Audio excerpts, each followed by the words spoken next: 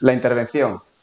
son dos días, son cuatro meses, ¿no? Como habéis dicho, dos días a la semana. Utilizáis información del test en rampa en ciclómetro para ajustar las sesiones, pero ¿qué contenido hay? O sea, ¿es solamente aeróbico? ¿También hay fuerza? ¿Hay algo de flexibilidad? sí, hacemos, eh, sobre todo, bueno, hacemos entrenamiento concurrente, que es, eh, pues eso, combinar eh, trabajo de aeróbico con trabajo de fuerza.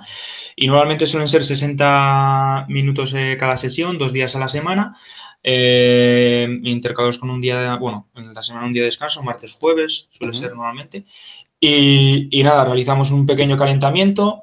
Eh, bueno, normalmente suelen eh, para, bueno, explico, un calentamiento, movilidad articular y luego ya pasamos em, a lo que es el trabajo aeróbico que lo realizamos mediante un HIT eh, con un protocolo ya establecido pero de manera progresiva y, nada, utilizamos ese diseño de intensidades, esas frecuencias cardíacas para luego poder eh, hacer el hit, ¿no? Em, porque empiezan con, eh, bueno, son más de 10 minutos de, lo que es el trabajo interválico a alta intensidad, eh, que suele ser entre 80% hasta el 95%. y, y, nada, luego lo que, bueno, bueno, para hacer el... El hit, para que me entienda, porque mucha gente sabe lo que es hit, pero algunos otros no. Sí. Son intervalos de alta intensidad y dos de recuperaciones normalmente incompletas para luego hacer alta intensidad, como pegar pequeños, digamos, saltos de intensidad, bajar, subir, bajar, subir, y lo que te permite es acumular durante un tiempo eh, intensidades que si lo hicieras de continuo seguramente no, no podría. Entonces te permite darle a la patata durante más tiempo. Eso es. Eh, claro, lo que, lo que se había visto en, eso es. En diferente, en anteriores investigaciones sobre que todo que habíamos realizado usar y así, era que, que, mm, al final el HIT era eh, como más llevadero también, eh, tenía más, eh, más beneficios a nivel cardiorrespiratorio y sobre todo vascular que el aeróbico, ¿no? Es lo que nosotros veíamos. Y entonces también creíamos que podía ser una posibilidad para, para esto. Y la verdad que lo, lo taloran bien y, eso, y te digo que empezamos de manera progresiva. Eh, creo que empezamos... Sí, hacemos, hacemos eh, normalmente los intervalos de, alta intensidad suelen ser de 30 segundos, eh, intercalados con un minuto de recuperación entre medias y al principio empezamos solo con 30 segundos de, de trabajo, de trabajo intenso. Cuatro, 30 segundos, eh, eh, cuatro intervalos. Perdón. Y luego de ahí pues ya vamos subiendo. Y la intensidad al principio, o sea, siempre cuando hacen un boat de alta intensidad, siempre son 80, 90 frecuencias de la frecuencia cardíaca máxima.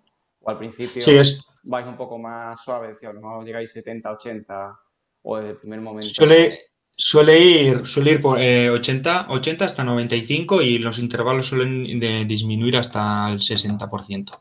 y luego y, luego eso, al, principio empiezan con, con, 10 minutos de calentamiento, luego te digo que hacen esos cuatro eh, intervalos eh, con, un, con, un, minuto de recuperación entre medias y luego ya terminan eh, con una vuelta a la calma pequeñita. Y eso, te vamos subiendo las dos primeras semanas, sí que son solo cuatro, y luego cada semana vamos subiendo hasta que llegan a nueve intervalos. Sí, o sea, empezando y luego ya nueve intervalos ya es bastante, ¿eh? De 30 segundos y la verdad que, pero bueno, eh, luego también muchas veces eso, eh, tienes que ver que al principio igual no llegan a, lo que es el objetivo eh, de la frecuencia cardíaca, pero luego poco a poco ya van subiendo porque nosotros para saber, porque tenemos una, hoja de registro y para saber si llegan o no, pues tenemos, tenemos ellos tienen medidores de frecuencia cardíaca, pulsómetros, y, nada, lo que hacemos es, es, apuntar si llegan o no para ver también Sí, eh, la, escala de Borges, sobre todo la, medimos eh, eh, después de cada intervalo y al final, como un global, ¿no? Haríamos un global de todo. sí, luego haríamos un circuito de, fuerza, que son ejercicios tanto de tren superior como de tren inferior, de empuje, de tracción. Y, y nada, suelen ser 45 segundos de trabajo con 15 segundos de descanso. Sí que no realizamos ningún tipo de de test, por ejemplo, de fuerza o, yo que sé, con un encoder o medirle la fuerza. Pero, pero bueno, eh, esa es ya la parte ya del circuito, que realizamos eso de fuerza. Y luego ya haríamos una vuelta a la calma, en que suelen ser ejercicios de core, ejercicios de, trabajo Y, de, la, parte de, fuerza, eh, o sea, es un circuito, ¿no? ¿Qué manera utilizáis principalmente?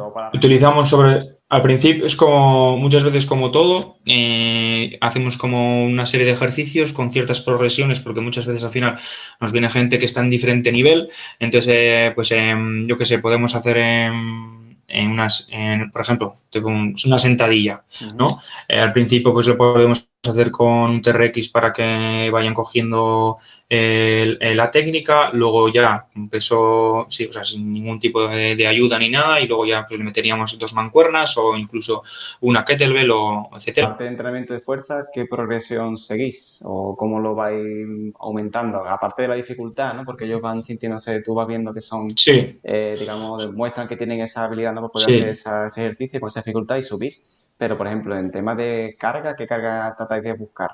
¿La que pueda mantener durante 45 segundos? Sí, básicamente es eso. básicamente es eso. No, no, lo que realizamos es más o menos, sí, en ese ámbito sí que hacemos más sensaciones y vamos... Puede estar 45 segundos dándole... Una carga en la que pueda mantener durante 45 segundos de manera, o sea, que, que sea, que sí que, sea, que, te, que tenga cierto estímulo para la persona y, y vamos viendo poco a poco.